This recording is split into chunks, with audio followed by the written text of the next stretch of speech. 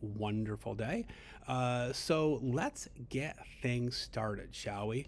So we're going to start off with a quick little review of a couple of things we've already learned about in the past. The first of all is uh, expanded form. Okay, we've done this many, many times. Expanded form is when you're basically you take a given number, like in this case it's 98, and you separate that number by the value of each digit. Okay, so in this case, the 9, the value of that 9 is 90. So you would write it 90 plus, and then the value of the 8, since it's in the ones place, is just 8. So again, we've seen this many, many times, taking a number and separating it into the value of each digit and putting a plus sign in between. Okay, that's the first thing we're going to talk about. The second thing we're going to talk about is multiplying with multiples. When one of them is a multiple of 10. Okay, and we, and we talked about this the other day as well. So let's say if you take a basic multiplication fact like 2 times 6. Please remember that whenever you're multiplying and one of the numbers is a 2, you just double the other number.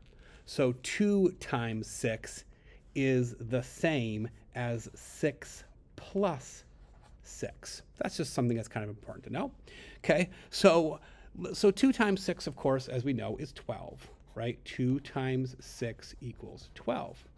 So if one of your digits, and it can really be either one, is has a zero after it, where it's a multiple of 10. It's 10 times greater. So we're going to rewrite this where the 6 is 10 times greater. Now it's a 60.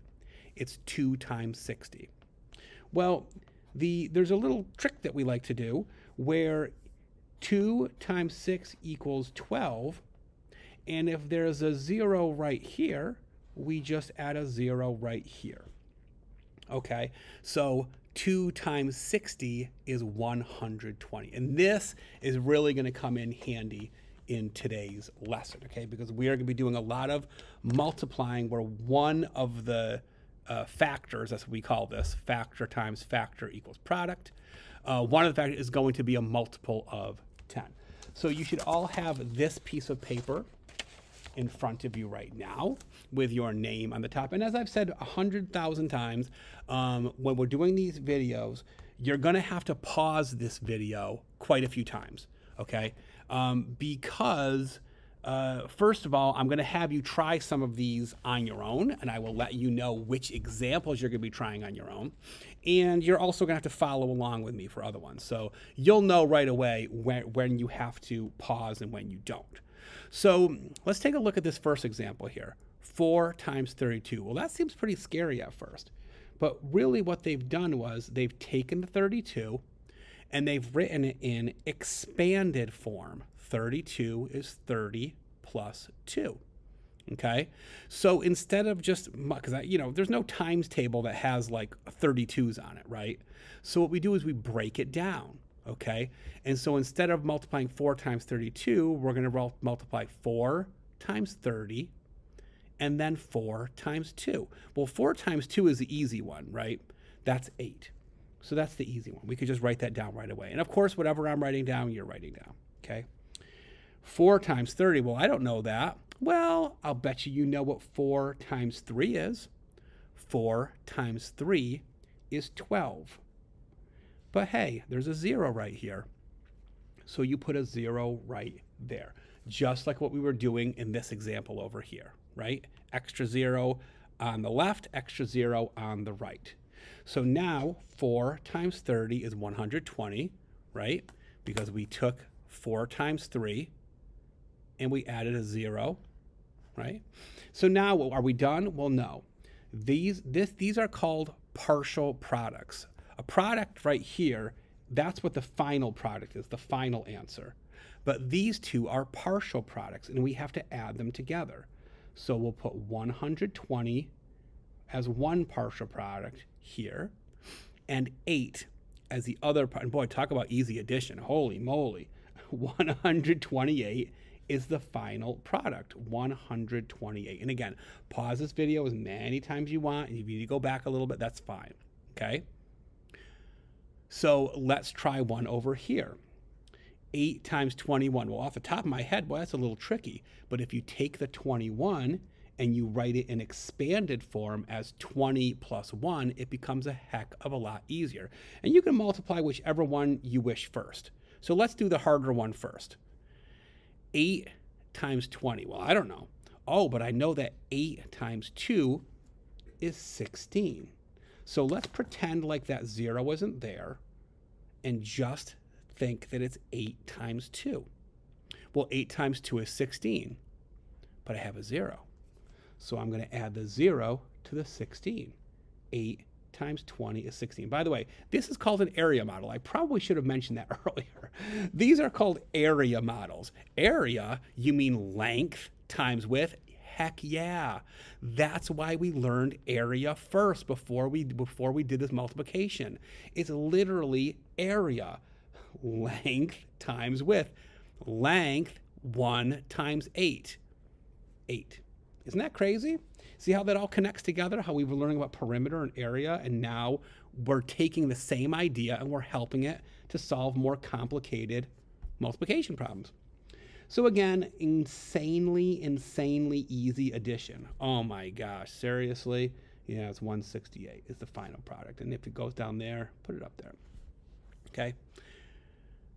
You notice I put a little red star about this one. I want you to try this one on your own. Okay? Following the same exact steps that we did before. Remember, do six times five, whatever this is, and you can, everybody can, can do the fives, right? Six times five or five times six. And then put a zero after that answer. That goes here.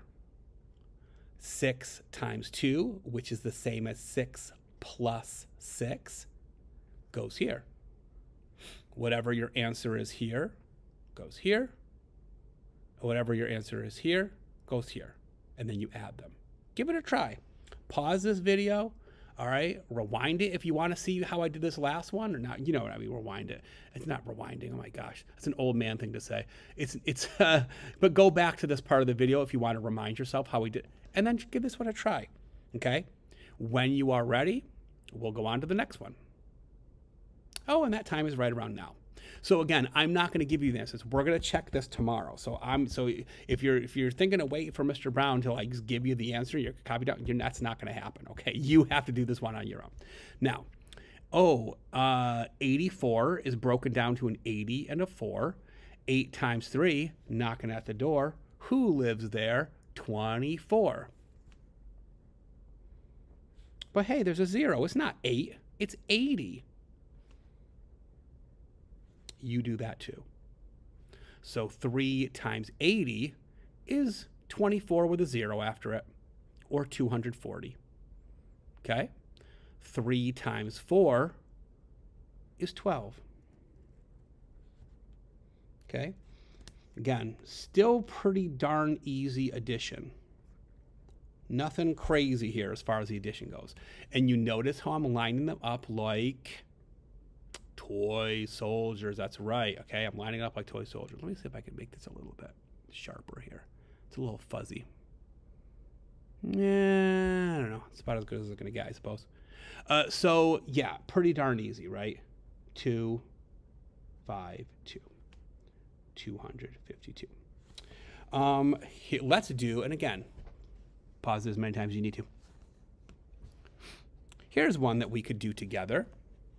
Uh, this one is 29 times 7 or 7 times 29. You can say it either way.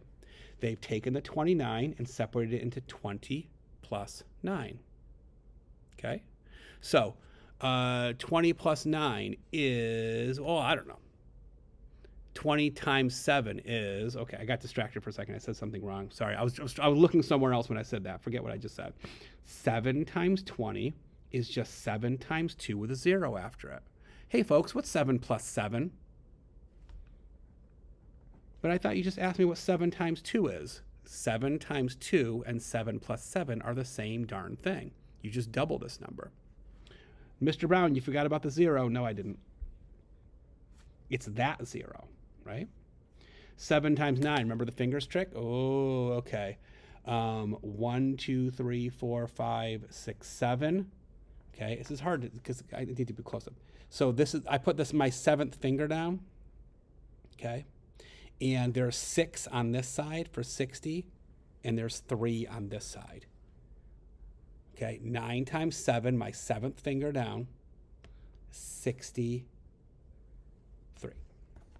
It's 63. The fingers trick. And we're going to write the partial products right here. Ooh, I think I see a little bit of regrouping that has to happen here. 0 plus 3 is 3. 4 plus 6 is 10. Where does that 1 go? Does it go above the 4? Or does it go above this 1? Yeah, you're right. It goes over here. Okay. Sometimes you see some crazy people put the 1 down there, but whatever.